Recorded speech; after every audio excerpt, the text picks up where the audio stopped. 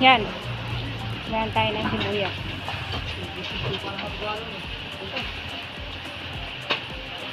Ayan, doon naman tayo sa bawang.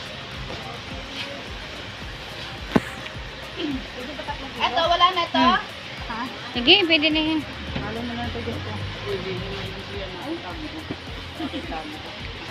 Sitaw.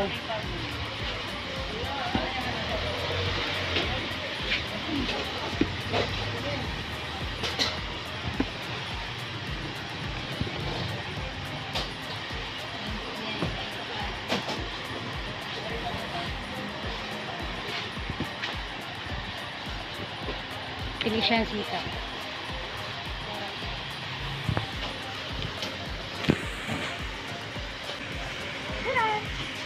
Ay, onion spring. Dami. Ito, pwede ba to? Hmm, pwede na rin yan. Ito. Meanwhile, Unti-unti na natin mabubuo ang mga pangangailangan natin sa ating food recipe. Ngayon, ang star na lang ang kulang. Ang puting mais. Ha?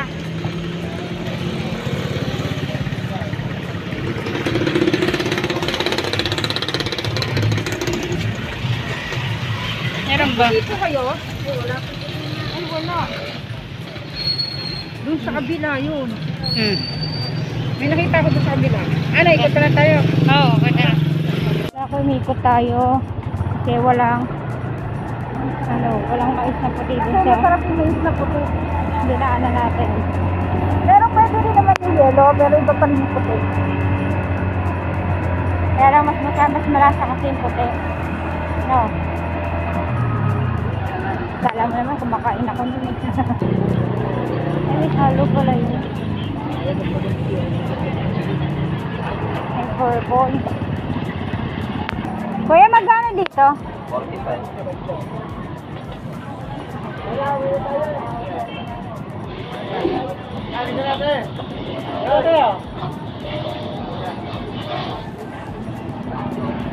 Ito lang kuya, tatlo.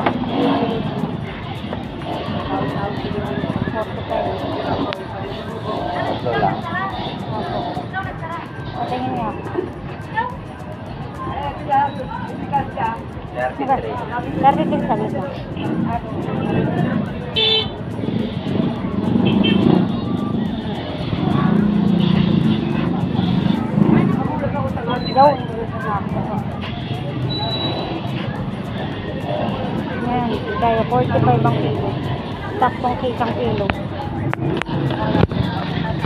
Sige po. Yan, ito na yung ating mais. Ang star ng ating lulutuin. Okay, mga kalaki. Ah, today's video, gagawa tayo, nakatagay na pangako namin na nagluto tayo ng mais na puti na ginisa. Ngayon, ganun pa rin gagawin natin. Pero, dadagdagan natin ng lahok. Ito yung isa sa paborito namin luluto ng mama ko noon.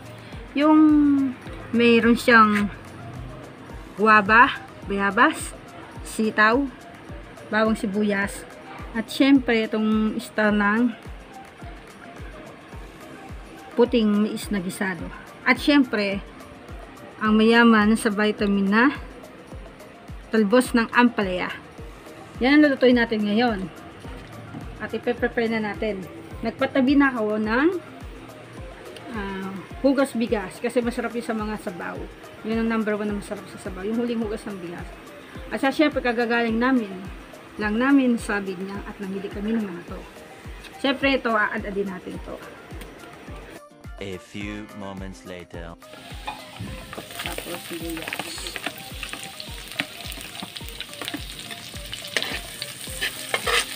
Maya maya yung na hinayat natin. Yung na puti.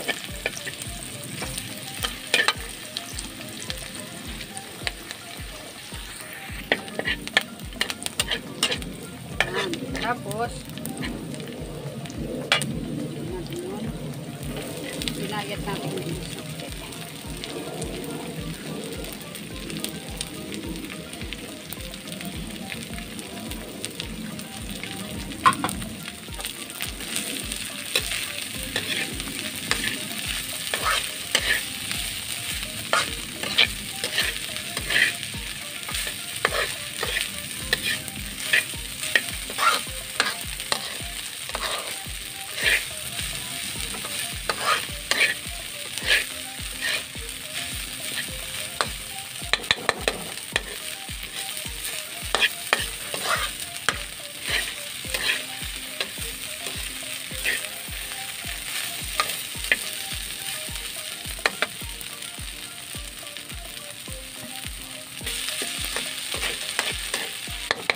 lagyan natin sa bowl yan.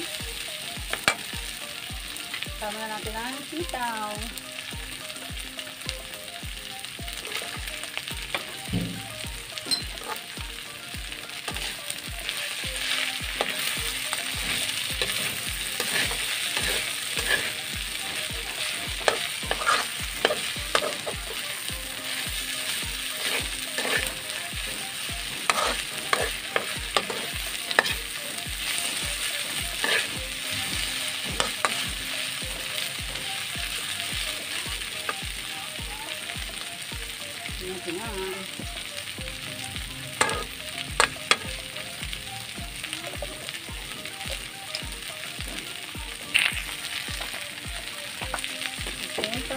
Tangkili.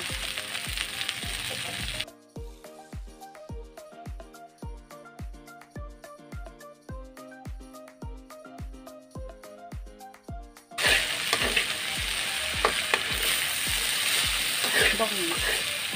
Nalagyan namin ito sabaw. Pero parang masarap siya dito yun.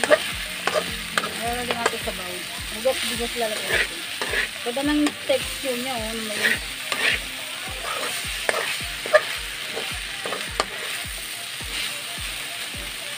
Tampi mo.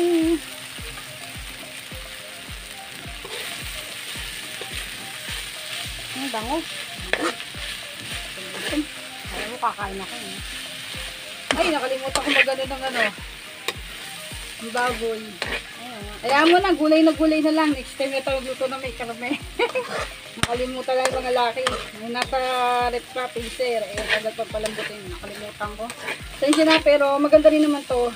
Kahit na huwag na natin lagyan ng karne. At least, ang nangyari, puro ano na lang siya. Veggies.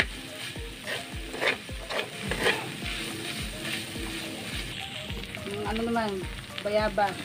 Baling kanina sinit aside natin na na ano, buto niyan, ibinabad natin sa mainit para lumabot ngayon, imamash lang natin yun. Tapos sasalain, ilalagay dito yung pinagmasyal niya. Yung parang sabaw niya. Ito, puro gulay na gulay na to. Kasi yung dapat lalaw kong karne. Nakakalimutan ko. Ang ganda rin to kung may hipon.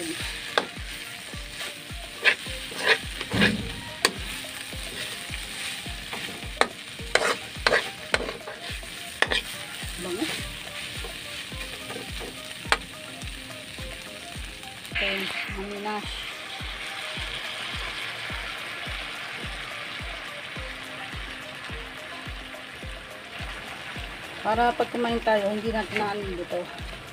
Yun ang technique nun. Kahit pag nagluluto ako ng sinigang sa bayabas, ganyan ginagawa ko.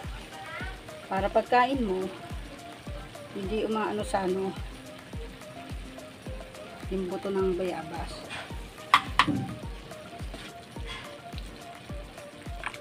Tapos, kakatasin mo siya, mamash mo, para makuha yung lasa niya.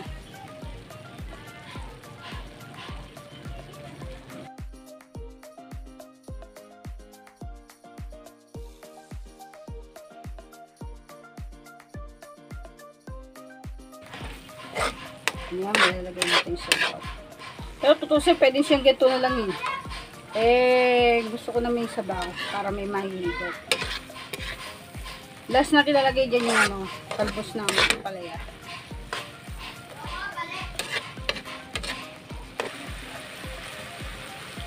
Gusto ko kasi may mahigop.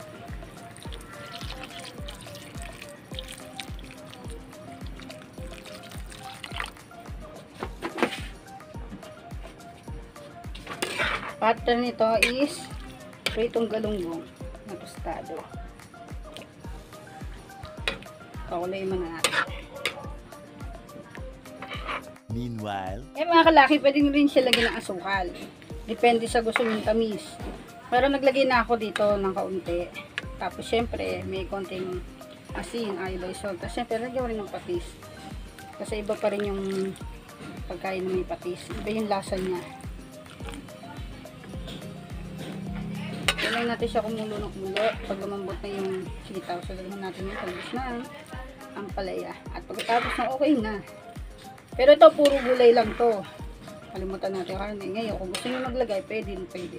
Iprito siya, lalo na tostado. Pero pwede rin ito tapin sa ng chicharon. Kung gusto nyo.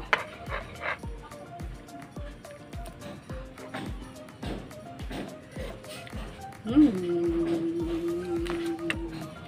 Sarap. Ay, wala na nga palang takip.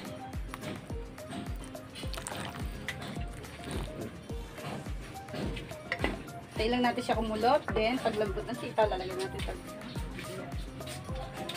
Yan, mga kalaki. Okay na yung sitaw natin sa palagay ko. I think, I think so. Lagyan naman natin ang talbos ng ampalaya. Sarap niya, yummy. Nag-aagaw yung lasa ng guava.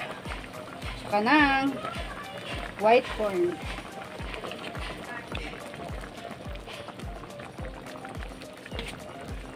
Yan. Puro gulay lang yan. Ngayon, kapingsan natin mamaya. Yan, dinurog na. Chicharon bakoy. Yan. Hindi lang natin yung talbos ng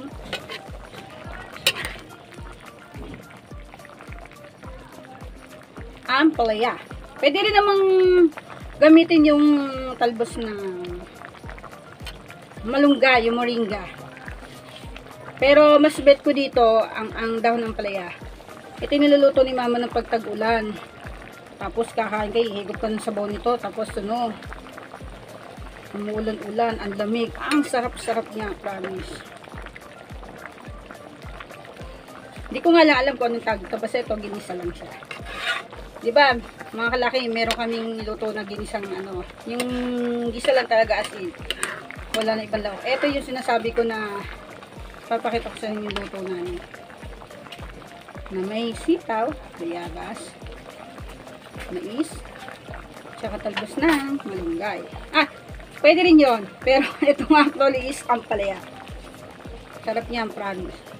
Napaka-healthy. May vitamin B. Ang tawag ng palaya B. B. Bitter. Joke yun. Joke lang po. Joke lang ah.